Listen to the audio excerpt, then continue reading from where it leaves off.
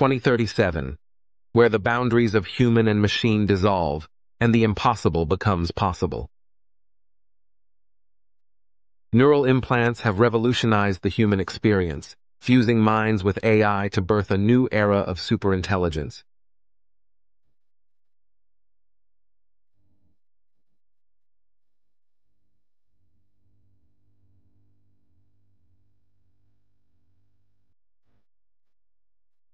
AI has become an integral part of the creative process, enabling humans to co-create with machines in ways previously unimaginable.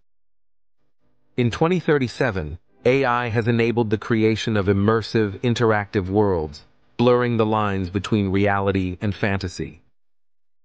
And for those who choose, AI has enabled the possibility of digital immortality, allowing human consciousness to transcend the physical realm.